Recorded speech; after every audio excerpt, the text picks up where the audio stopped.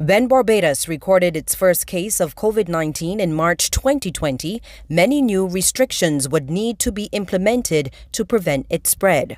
What wasn't known was how prolonged and devastating the resulting effects would be on businesses of all sizes. For small and medium sized enterprises, it has had debilitating repercussions. But on this one on one, we take a look at what government is doing and plans to do to help entrepreneurs get back on their feet. Good evening. I am Lisa Lord.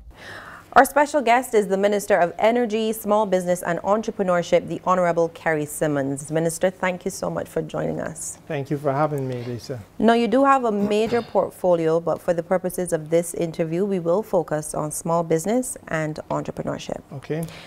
It's been a full 12 months of COVID. Point blank, how have micro and small businesses been doing? We know it's been tough. Yes, it's been very tough, and I, I think micro and small businesses have taken a hit. There's no question about that. And the challenge really for us now is above, uh, above and beyond everything else, uh, relief and survival. And uh, then at, as we come out of that survival stage, we now have to put a number of serious policy initiatives in place um, to ensure the growth of the sector. Um, but the key thing right now is the survival aspect of it during the past year, you would have had two lockdown periods. Speaking of relief, government would have intervened and provided some level of assistance to those small businesses.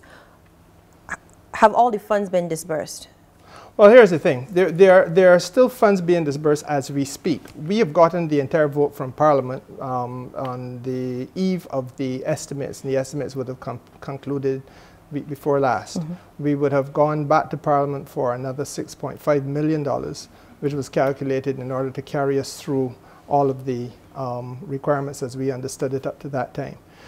I would have to say to you that the availability of the money is a little bit slower than I ideally would have liked.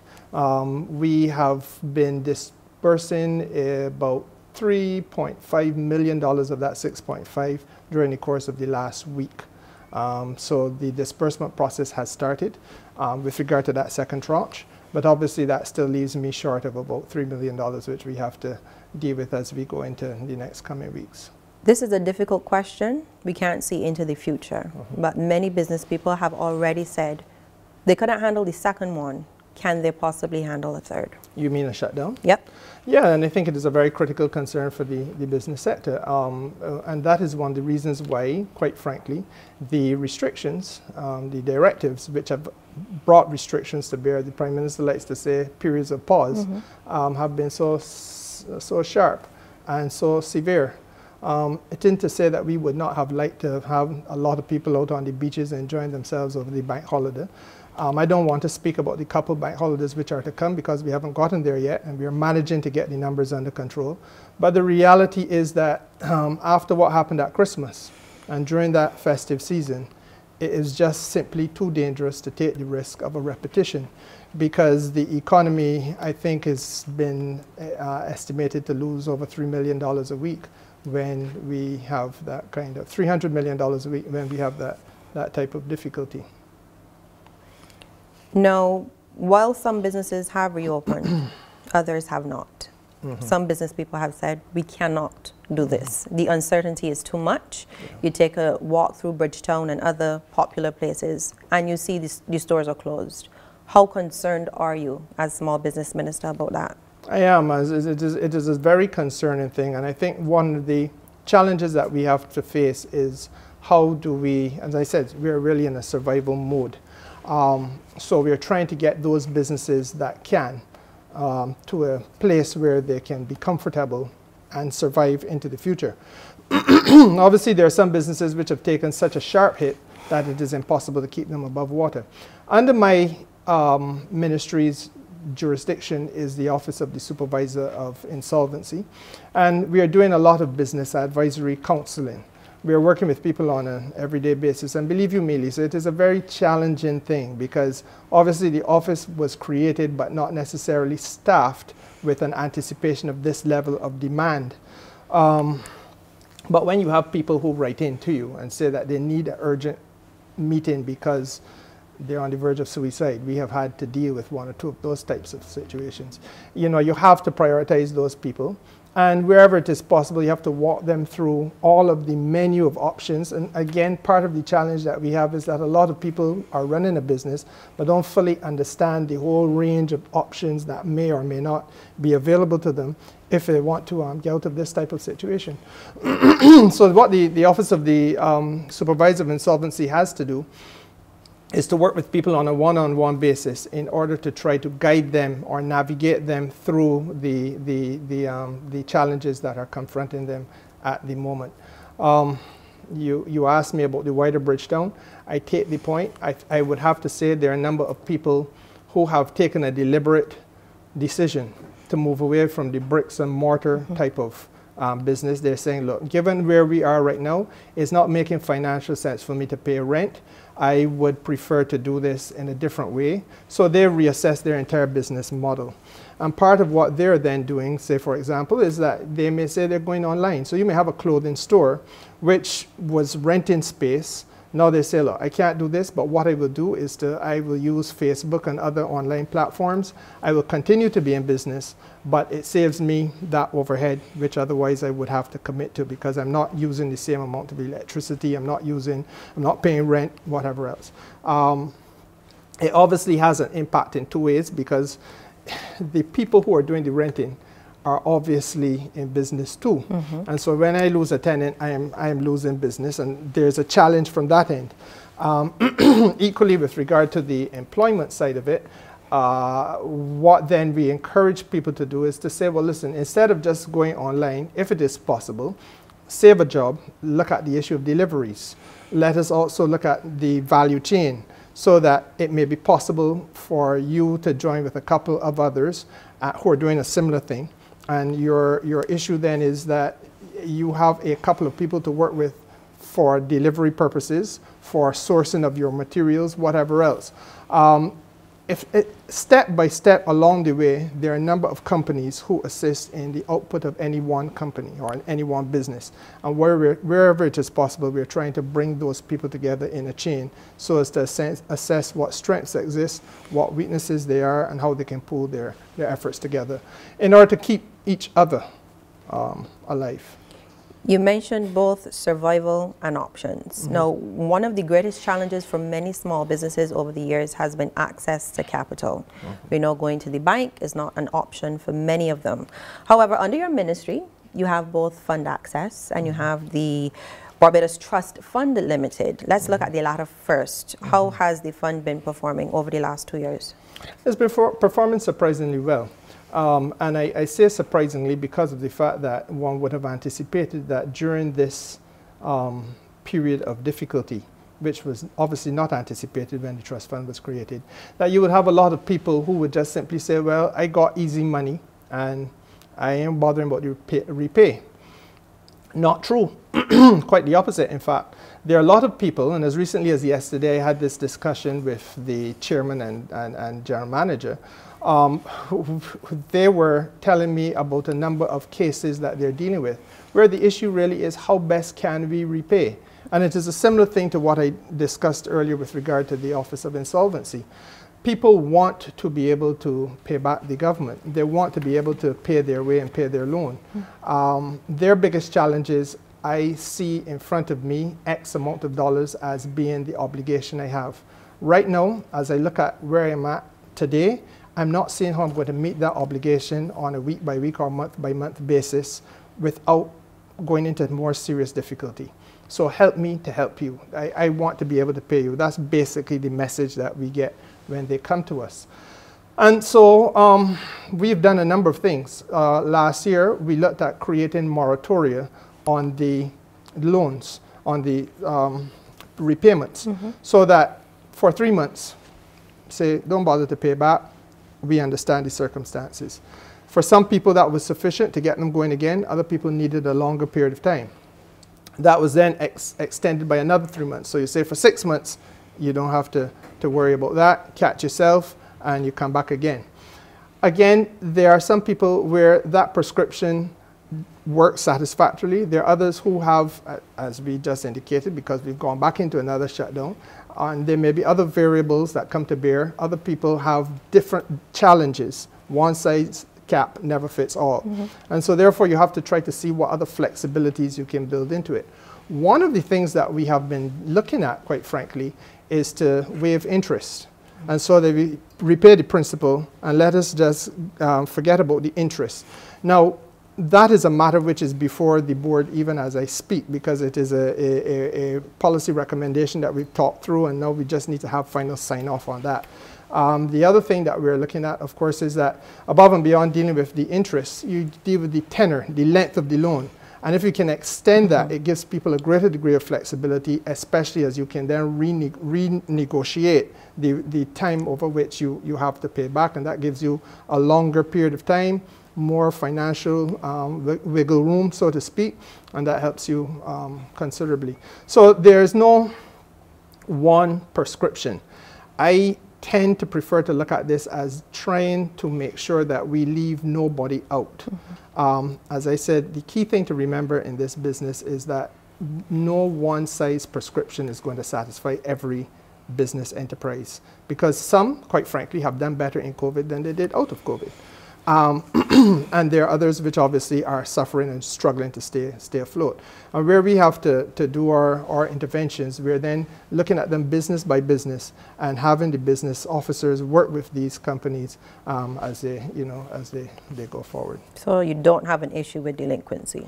No, not really. I would have to say to you that the, when it began, I know what the public mm-hmm. concern mm -hmm. was. Mm -hmm. uh, mm-hmm. oh gosh, you're asking people to take an interest-free, uh, sorry, uh, uh, uh, collateral-free loan, and they may not pay back and so on. And I think that the percentages show that there, there has been a far better than anticipated performance. I wish I had the exact figures on the top of my mind, but you know, I shared them with the country during the by-election in October, and I believe from the Prime Minister back down was quite surprised at how well this has been going. And I think it also tells another story. A lot of Barbadians want to be able to have the independence of being in business. A lot of them see this as, a, as a, an opportunity to do something for themselves and their family that otherwise they would not have had.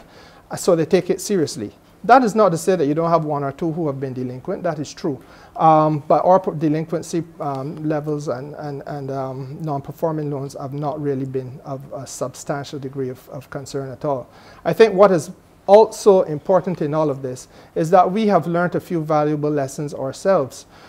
And let me say this to you. Um, I think that when the trust loans was created, one mistake we made was that we did not um, fully appreciate the importance of business um, advisory support. Now, I have said in the estimates, and I'll say here, business advisory support now strikes me as being critical to, on the way forward because right now we are lending people money mm -hmm. and we do say as part of the loan arrangement that we want you now to benefit from a little bit of education and in order to help you manage this business so that you learn some, some basics about management. Because everybody, say for example, who loses their job in this COVID environment, may say, boy, what can I do next? You know what? I can cook. Maybe I'm going to catering. But you may not have had any basic skills or training in management. You may not understand some of the intricacies of managing your own business. And so we try to help you with that. But part of the reality is that three months after you have done this short course with us, you are caught up in the hustle. The hustle and bustle against stock, the hustle and bustle of doing your invoicing, the hustle and bustle of chasing behind the necessary things that are inputs to your business. And frankly speaking, you may be starting to take some shortcuts in the way in which you manage. There may be some issues that you had never thought of confronting before, which is how you deal with your human resources, because you may have had to employ one or two people to help you. There may be other, any number of things. It might be of a legal nature, you know, um, helping you with contracts, etc., etc. And so where we think it is vitally important is that we have a dedicated set of people who can work with businesses. And I appreciate that given 10, 20,000 businesses out there, it is not going to be easy to do that um, with everybody at one time. So we need then to, to, to say target 50 or 100. Let's pick a manageable amount. Let us work with them over a period of time let us deal with them in, in terms of consultancy for whatever the issues are that arise. It might be accounting assistance, it might be, as I said, legal assistance, it may well be managerial, uh, human resource, whatever. But we have a cadre of people who we can call on, and I think that they could quite frankly be from the private sector and give people an opportunity to give back and participate in the development of this country um, so that we can work with some of these small businesses in a developmental way it is not only about throwing more and more money behind the business. I, I, I, feel very strongly about that. You could have millions and millions of dollars invested um, by government, um, you know, as being available to business assistance. If people don't have someone to hold their hand mm -hmm. and help them navigate the pitfalls and understand some of the challenges involved in managing the business and involved in planning the business's continuity, then you're going nowhere. So, so we, we have to look at that. And business um, development is going to have to be in the future also about the advice support that we make available to them. So that's the Trust Loan mm -hmm. Fund. Okay. Let's look now at fund access and the level of support that agency provides. Yeah. That's been no, around for a while. It has been around for a while. And, and again, um, the, the, the differences are important. Um, the fund access, the Agency for Microenterprise um, Development is going to have to be, I think, I don't want to say restructured, but one of the concerns I have when I look at the entire sector, micro, small, medium enterprises, one size, as I said earlier, never fits all. Mm -hmm. Right now, we are governed by a piece of legislation which I'm satisfied has to be changed. And in fact, we have begun the process of drafting the change legislation. Um, we've taken it to Cabinet. Um, Cabinet has approved, in principle, a number of the things that we are proposing to do. One of those things really has to be the range of the business interests um, financially that the trust, the fund, fund access, access, looks mm -hmm. at. Um, right now, fund access would be beginning from around $20,000 and up to $125,000. We want to make it um, a little bit more responsive to those businesses which have plateaued out of the, the micro sector where loans are, are limited at five and ten thousand dollars and carry and carry those businesses into the, the fund access level. Fund access also has to be able to be at the cutting edge of the transformation of the economy in terms of its competitiveness and in terms of enabling some of the players in this economy to remain competitive. One of the areas that I have in my mind, for example, is the um, private transportation sector. Mm -hmm. Now that private transportation sector, let me be very frank with you, is one of the few sectors in Barbados where small black businessmen have been able to survive and, and thrive um, we can't allow some of the changes about which they have no control to humbug them and eventually force them out of operation. Now, one of the things that are coming down the, the pipe, and we won't talk about energy today because I know we're going to come back and do that another time, is the fact that we are moving to a, an economy which will no longer be driven by fossil fuel, but will be um, fossil fuel free and carbon neutral. That simply means that we will not be importing any more diesel and that kind of thing. But all of the PSVs on the road, all of the ZRs, etc., are operating mm -hmm. off of diesel. And right now, it is a very hard thing to find a vehicle of that caliber, that type, that can sit how much ever passengers, um, which is operating as a hybrid or an electric vehicle. So what is the future for these people? There has to be a way of helping them to change out into the new technology or into a cleaner form of fuel. Where does the financing for that come? Because the logical question that is going to be asked is that set is already under pressure, we've Correct. all heard their complaints during COVID. Um, you know, everybody got assistance except them, etc., etc. And I hear that and I understand it so I have actually commissioned a, a, a, request for them to sit with me, and some of the things we have to talk about really is how we help them. Now, fund access is at the, as I said, the cutting edge of that type of transformation. Um, government has been able to secure some money via the public sector smart energy program. Um, and stage two of that program will see us, which is where we're at now, stage two of it, and that will see us um, working with um, PSVs as the entirety of the sector, um, to transition them by way of loans and where necessary grant, grant funding towards having the newer type of technology so that they're able then to maintain vehicles that can be um, used in the business that they, they have. Now, again, we're pitchforking down the road, but I believe firmly that we have to plan the future very carefully. We are in 2021. We come to 2039 short years away from now. For some, it seems like a long time, but the reality it is not. Because when you are looking at your, your, your budget, if you have a business right now and you're saying, well, look, 2020 was virtually a write off, 2021 looks like if it is going to be a write off, if it isn't already, um, what does the future hold for 2022? There's tremendous uncertainty we have to be able to say to these folks, look, we understand where we are. If it is that we are not going to have the availability of, of uh, an electric vehicle, then we're going to have to have clean fuel, which is compatible with, with the type of vehicle that you have. And we've got to be able to do the test to guarantee that that compatibility exists so that there'll be confidence. And equally, if it is that people are going to, and some will have the opportunity to get a newer type of, of, of um, technology, which probably will be hybrid or electric, then the reality is that if you're going to buy into that technology, it comes at a cost. They are more expensive now than we anticipate that they will be in the future, simply because of the fact it is new technology the world over. And Barbados is a price taker. We don't set the price, we're just simply too small. So the conversation that we're having really is about how then we can facilitate folks like these in that sector with the necessary loans and so on at low interest rates so it is a competitive type of thing to enable them to, um, to recreate a fleet because the entire fleet that we have on the streets of Barbados right now are the old technology. And if we do not correct that or make at least the technology compatible with biodiesel fuel, then we're going to have a problem for that entire sector. And that is really a, a transportation nightmare. So we can't afford that. We have to fix it, and we got to fix it as early as possible. But above and beyond that, the similar, similar to the, the trust loan situation, Fund Access has also been um, outstanding as a development partner.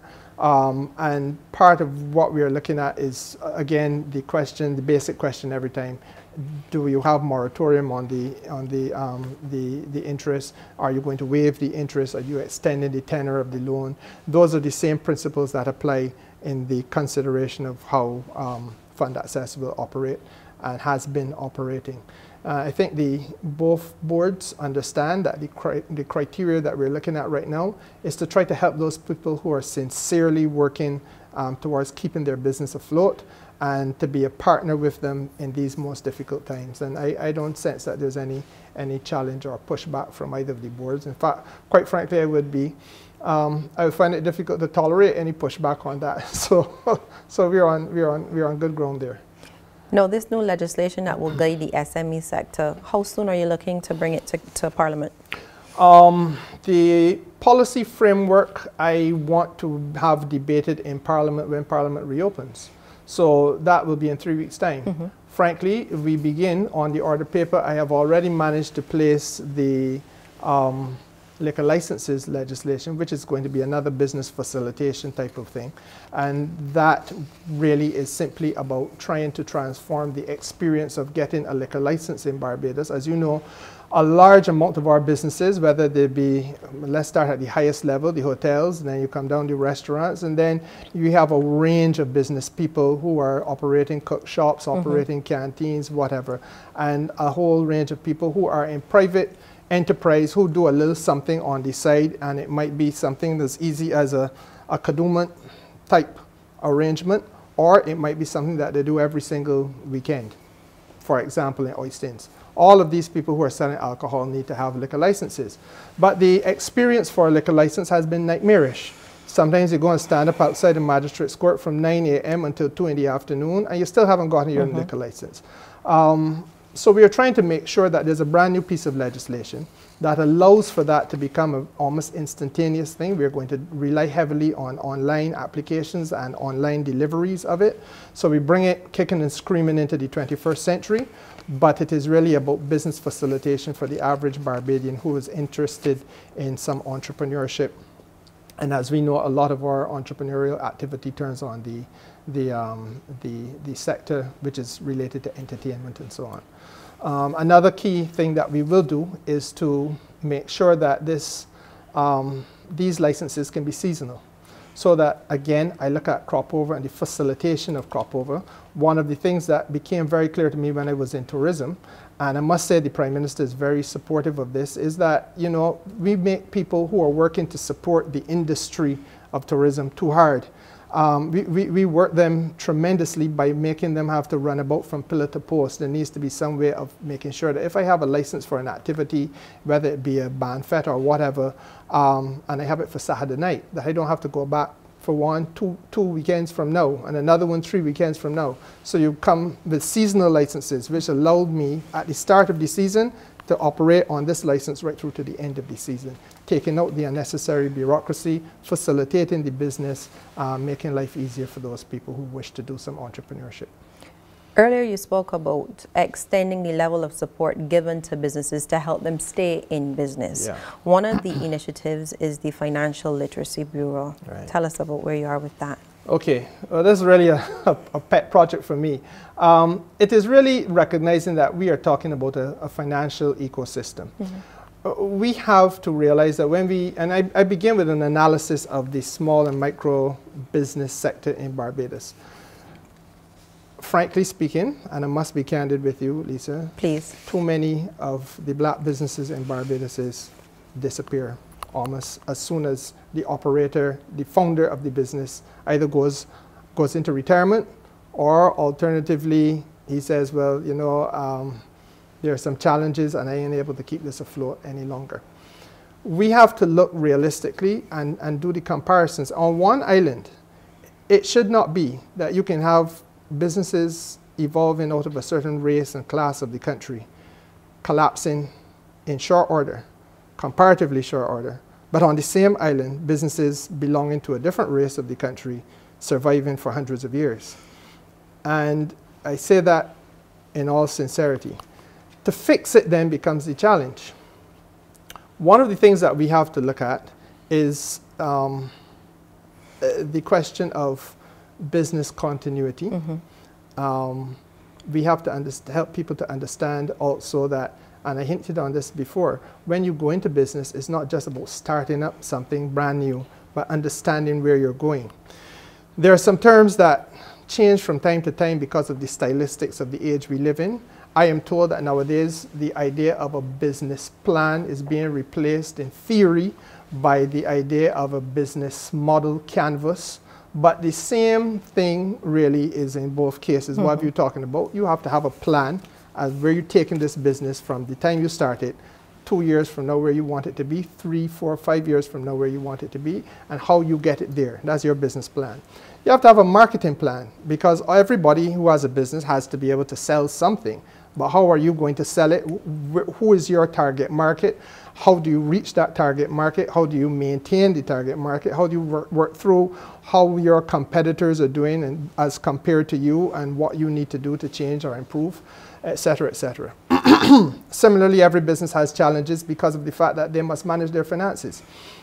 Some people are able to better do that than others, largely because they are trained or have access to people who are trained in doing this. And I come from a profession, frankly, where that is obviously a challenge. Uh, too many of my colleagues have had difficulties in managing financing, and that is why we have what we have had at the bar. Um, but it is not true of lawyers only. It is true of accountants. It is true of, surprisingly, it is true of accountants. It is true also of, of doctors, etc., etc. Mm -hmm. um, the ongoing training of people in business, therefore, is something that we have to confront and to face and, and fix. I think that in Barbados, we have tended to believe that it wasn't necessary or that it was too small an amount of people for it to matter. I don't share that view, and quite frankly, the more I've discussed it with people in this country, I think that there's a wide buy-in in terms of understanding the importance of financial literacy. Um, the word literacy sometimes people seem as treat as though it is being a little bit offensive because if I need literacy, you're saying to me that I am illiterate. Mm -hmm. But let's get past that. Effectively, it is about understanding the importance of some of these things. Even beyond that, it is also the importance of how you continue the financing opportunities and access to financing that the business has. Um, for example, venture capital, angel financing. All of these are terms out there, but what do they mean to the average man? Sometimes, and I found this again when I was tourism minister and we were talking to the unions about serious investment and so on, and we say to the union, we want to bring your union membership along with us. Uh, this was a conversation we had at the cave and equally at the airport. The reality is that the union membership themselves don't necessarily fully appreciate the benefit of owning shares or the challenges associated with owning shares. Um, so it is, a, a, again, an educational process that has to, to take place. Um, the bottom line is that there's too much taken for granted in terms of macro topics which have not been broken down into simple language and simple speak for the average, ordinary Barbadian man and woman to understand. And it is equally true, I must tell you, that it is important for us to have this as top of mind awareness now in the classrooms of the country. I've had the benefit of a lovely meeting with the officials of the Ministry of Education. Um, the minister herself uh, is very supportive of the idea. Um, where we're at is planning to see how we can fit this into a curriculum. And obviously that is something that we would hope to have in stream by September of next year. There are other countries in the Caribbean which are also doing this. Jamaica, for example, is having it in its curriculum because people are understanding the importance of getting our young people, even at primary level, to understand savings, to understand investment, to understand what it is to own shares, to understand what the benefits are of shares, understand the challenges associated with a stock market, etc., etc. Um, and if we can get the vast majority of our businesses up to that level, then there is a greater appreciation of the, the, the ebb and flow of commerce in any given country. So yes, it is, it is something I think is an idea whose time has come. We are definitely going about it and we're looking at three real pillars. The first is that obviously we're going to have to have some clinics. COVID has been a challenge because we began, we launched formally in, I think it was October or November of last year at Queen's College School. Um, and we started to reach out into different communities. But then the shutdown or the pause has caused us now to back off of the, the, the physical clinic. It can be moved online. All of the modules are, are being restructured as I speak to you so that they can be delivered online. And I think, frankly speaking, if we had to do it online exclusively, we could do that. Mm -hmm. Ideally, though, we would still want to give people an opportunity to have some physical um, interaction. Uh, beyond that clinic thing, there's also the um, business development aspect of the thing, where we will have, again, as I said, to work with a set of people who offer some sort of consultancy advice on some of the more technical issues. But again, every business needs that at some stage. And where we have suffered is that we've left too many people in business in Barbados out on a limb by themselves uh, when they probably could have salvaged their business by way of having access to somebody giving them consultancy advice.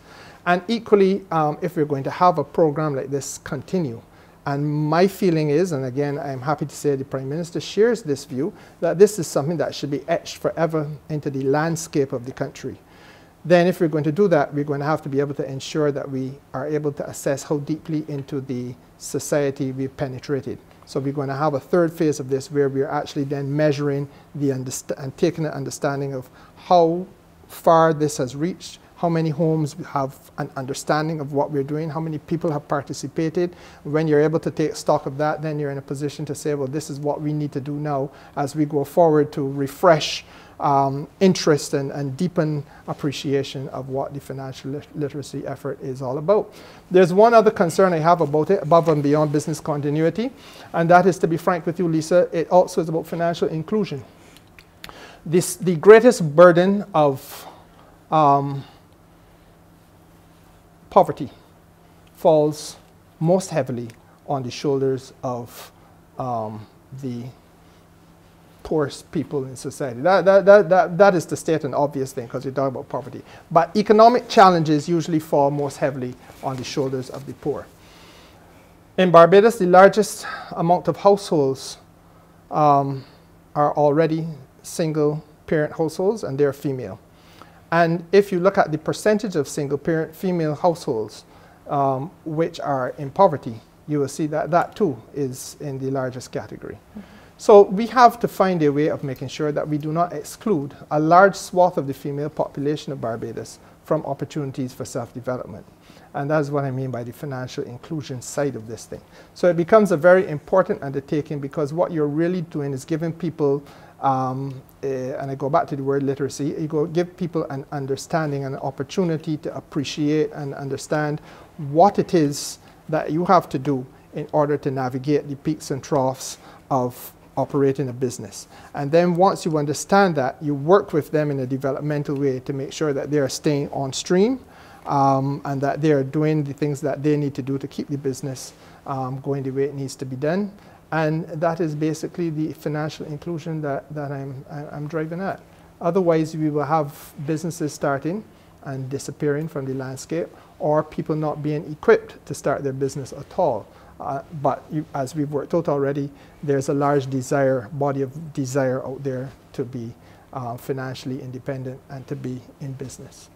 Now, before coming on air, we were speaking about a collateral registry. Mm -hmm. Tell me about that. Well, again, I suppose it fits neatly into what we were saying before.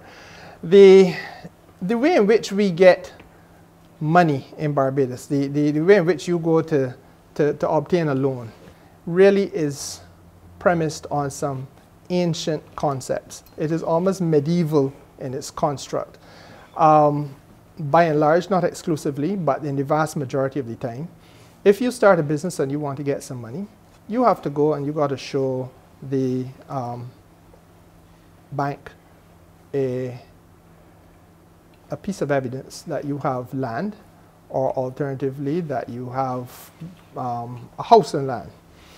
Far too often, we have businesses where people have financed the start of that business by taking out another mortgage on their house.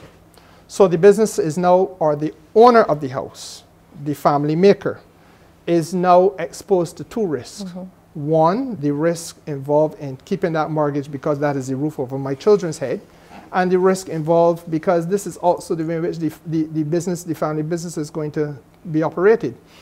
And if something happens, for example, COVID, then you are faced with a situation where the two risks now coincide and there is deep, deep water and tremendous fear. And, and as I indicated to you earlier, for some people, even thoughts of suicide because you're about to lose everything most precious home and the business all in one. So we have then to find a way in which we can help um, businesses in Barbados to be able to access loans that help them to operate and to develop if they do not have um, access to house and land. Um, for those people who don't have access to house and land, what then do they have? They may have, for example, uh, a mechanic will have his tools, he will have the equipment, etc. Those people in agribusiness, they have livestock, which has value, and a lot of equipment as well on a farm or whatever they're operating on. That too has its value. Um, the people who are in fishing, for example, you may be, you may be land poor, but you may be asset rich by virtue of the fact that you have access to three, four, five fishing boats. Mm -hmm. Each of those boats have its value. Um, what we've had to understand and what other parts of the world have embraced is the reality that you, you can have many types of asset. Some of these assets are movable. Everything is not fixed property like house and land. And if it is, if it is possible, let us then help to avoid a man or woman having to recommit their home towards um, obtaining money for the business by giving them another option. Uh, that option could be where we have the immovable assets. And the immovable assets in some parts of the world are treated as your accounts receivable.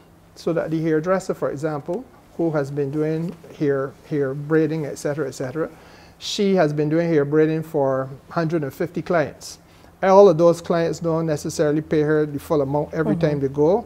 There may be a little bit of trust and thing going on there. You may decide that you're going to pay me at the end of the month for work that I did for you, whatever. But that's part of your accounts receivable. You should be able to pledge against that as long as you can establish that you, you have these accounts receivable, then that is something that you can use towards helping you get your loan. Equally, your, your, if you're on the farm, your, your, your, your, your crop, your livestock, etc., you can pledge that towards helping you get your loan. Your equipment, if you're in a farm or factory, uh, your equipment is also something that you can use to help you get your loan. Essentially, therefore, the collateral, the collateral becomes a wider concept than just house and land. The benefit is that by having a registry, you can protect now the person who is lending by virtually by virtue of saying, look, you can't have um, one piece of collateral if it isn't registered to me, be, or if it is registered to me rather, being used to borrow from you, Lisa. So if it is that the person is going to use me or my institution to borrow, then you register the collateral with me. That then means that I hold that, or I have an interest in that collateral so that my loan is satisfied. That loan, then can, that person can equally take the same collateral and use it over by you because it is already registered by me. Having done that, we protect the people who are lending the money because they too must be protected. But what we also do, and most importantly, is that we create a new swath of opportunity by virtue of the fact that you can now borrow against um, against movable assets where before you could not borrow against movable assets and you may be land resource poor but you may be asset rich in a number of different ways. And I think it is important because as we know, all through Barbados there are small businesses where you go into a village, and I use in my constituency Redmond Village, I can think of mechanics in Redmond Village. They got, they got tools and equipment um, but no land. Mm -hmm. um, I can think of hairdressers in my constituency who have equipment and so on, and clients, and, and therefore there's accounts receivable, but they necessarily own the land where they live. Um, equally, I, I, know because I have a coastal community in my constituency that there are people who own fishing boats, but there are tenants on the land where they live. These people can use the things that they have in their business to help them re um, recommit more resources to the business, help the business develop um, outside of just a reliance on house and land, which has been the traditional way in which business has been done in this country from as far back as the memory of mankind can run. Um, yes, there are one or two instances where there have been variations on that, but we all know it largely depends then on who you know in the banking structure, who can do you a favor, who can help you. And this has to be something where there is certainty now brought to bear that irrespective of who you know or where you come from in the Barbadian society, if it is that you have some assets and those assets can be registered somewhere so that you protect the interests of the people who are lending you the money, register them, and there's a formal structure for doing that put in place, and then afterwards you access the money.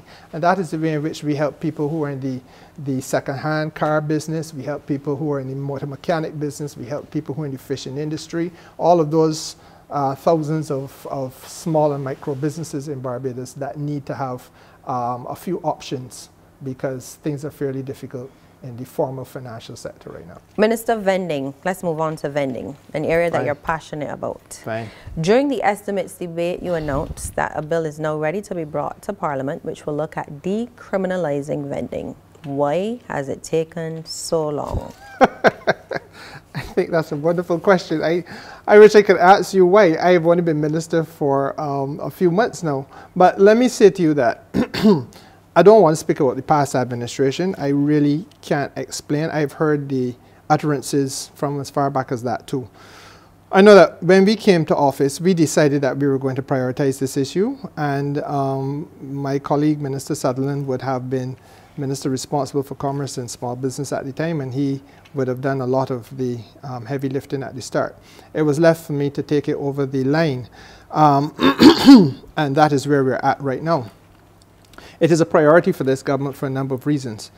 Um, first of all, let me start with the, the decriminalizing thing. When, and, and you have to understand the plight of poor people. When once you are saying, I'm going to try to do my living an honest way. Um, I'm going to go into town, I'm going to set up whatever it is, and I'm going to offer this on sale. Through no fault of your own, there may be some people who um, were store owners or are store owners who may feel that instead of having a discussion with you about where you're located, it has to be a confrontation with you about where you're located. Um, it may be that the, there is an issue in the immediate area and the police say you can't be there, so you have to move. Um, whatever the, the in intervening factor is, far too often vendors in Barbados have been stuck in a situation where um, their produce, even if those, that produce is perishable, for example, fruits and so on, vegetables, things that will spoil and be lost. Those things are taken up, and in some instances, the vendor never sees them again.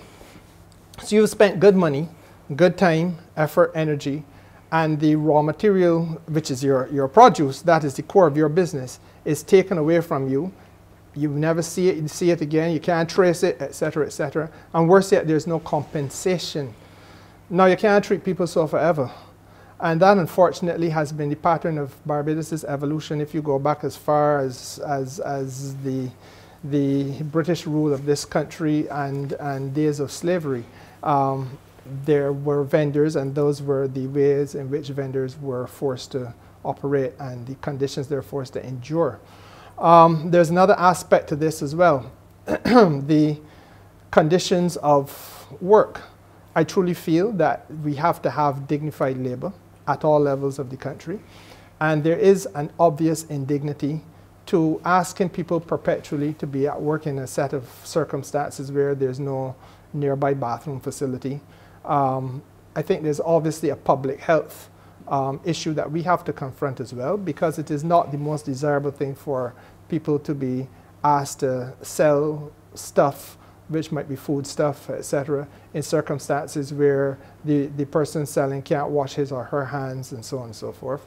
Um, and we equally have to understand we got to treat ourselves better as Barbadians. Um, and we are as good a society as we are a people who treat uh, the least among us. And if we don't treat the least among us well, then we really don't treat to ourselves as a society well. And that is long before we get to the benefits which probably could be derived from an enhanced tourism product. Um, you know, people coming here and seeing, for example, nicely designed laybys, etc., for for um, tour buses or whatever to pull off on the highway and experience the coconut water um, thing, whatever else you may have. So for all of those reasons, we felt it was necessary to do something about the vending situation. Um, the legislation will most certainly protect the interests of the vendors and, and, and, give them rights over their property so that if you move the property, um, then it, it, has to be able to be traced. I must be able to get back what is mine. It can't be allowed to perish and then you give it back to me. So don't give me back spoiled fruit. And if in fact that happens, then I have to be compensated for the value of what you, what you have um, taken from me. So there is now a responsibility for the first time ever on the part of the state to treat to the, the vending community in a manner that is dignified. And in the, quite frankly, in the manner that we would treat to any other business in Barbados. The, the police would not walk into to, to any store or any, any, any establishment and just take up a pelt boat and break up or whatever and there not be an issue of compensation arising. So therefore, the same thing must apply to this group of people. Um, at least that is our judgment. Um, equally, the legislation will define areas where there will be now zones for vending. And it falls to us now to correct some of the mistakes of the past. We have to identify these zones, um, and we must do so where highway has already been established. Um, but we will try as far as possible to make sure that all those people, and I've walked the length and breadth of that highway, I've spoken to the, the, the, the, vendors, especially those doing the coconuts and so on. I have told them that this is really now about me helping them, but they have to help us as well because there's equally responsibilities. You're not just getting rights, you're also going to have some responsibilities. You've got to keep the place clean and sanitary. Um, and they quite frankly gave me assurances. One or two have subsequently broken the assurances because they said let it begin from now, even before we get the legislation. But, you know, we're fighting a public health crisis with COVID. We need not fight one involving dengue and other things that are mosquito-borne illnesses. And so therefore, leaving coconut shells, for example, alongside the highway overnight is not on and it has to stop. I've made that very clear. But part of the way forward really has to be, as I said, designing zones along certain parts of that highway where people, and in other areas as well, where people will be able to come and, and um, pull over, where vendors will be set up, where they will have a space designated for them, where you're responsible for that space, um, where there will be facilities which are commodious, so that there will be running water, there will be bathrooms. Uh, ideally, I would like to have some lighting as well, mm -hmm. let me mm-hmm. say that, because I think that we also have to be prepared to take this into uh, a nighttime experience. And I need not tell you, when I was in tourism, we did the nighttime experience um, down by Pelican. Um, I think it is very important for us not to see vending as a 8 to 4 job. Um, uh, we have had discussions about Bridgetown in a very serious way. The, I am pleased actually to say to you that the um, credit union movement has committed to supporting us with regard to the um, assistance we need in obtaining stalls and kiosks in Bridgetown because one of the things that we recognize is that the impact uh, on the, the vendors, not only visually, but enhancing their, that which they do um, is important. And if we can have kiosks and stalls that are pretty much looking similar, Uniform. design similar, a uniformity, it goes a long way, especially in that Swan Street experience. And so the credit union movement is ha happily, I, I, have to say, has said that they will partner with us.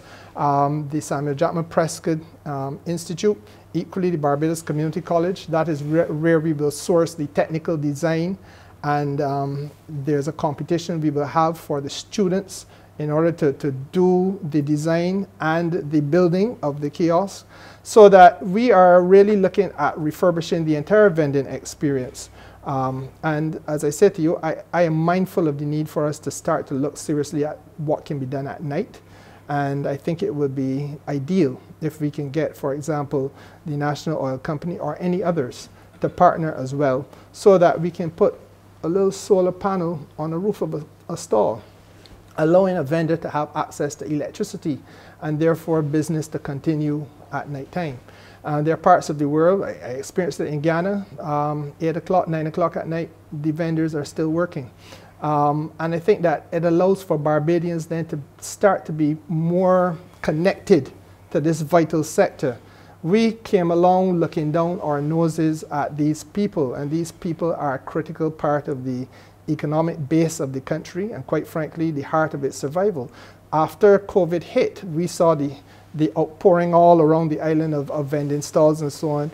People are doing a legitimate business and they're trying to do it in a legitimate way to keep their families alive and they need to have the support. So, so that is where that legislation is, is aimed at going. My final question to you.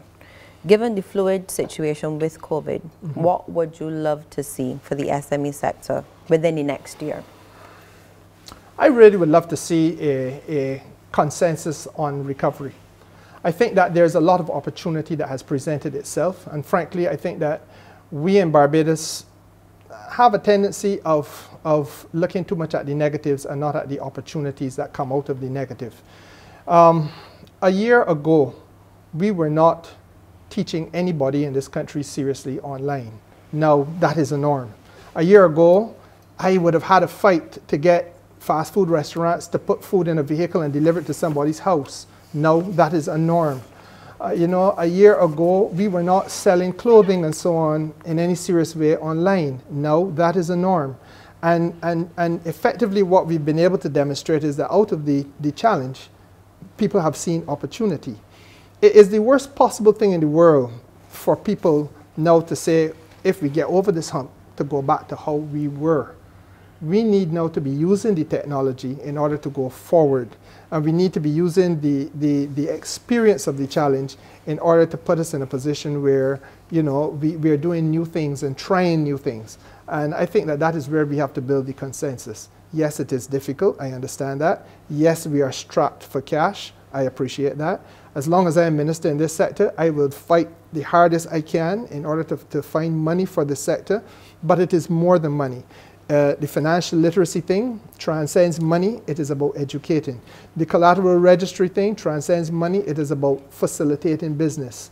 Um, you know, there are several ways in which we can do new things in order to try to deliver to the sector and for the sector. Um, I don't think that people focus enough on the opportunity sometimes. I think we focus a little bit too much on the, on the challenges and it allows it to weigh us down. But we can get over that. Minister, thank you so thank much. You. It's been a pleasure. been my pleasure too, Lisa. That was the Minister of Energy, Small Business and Entrepreneurship, the Honorable Kerrie Symmonds, speaking about entrepreneurship and small business. And I am Lisa Lord for One on One.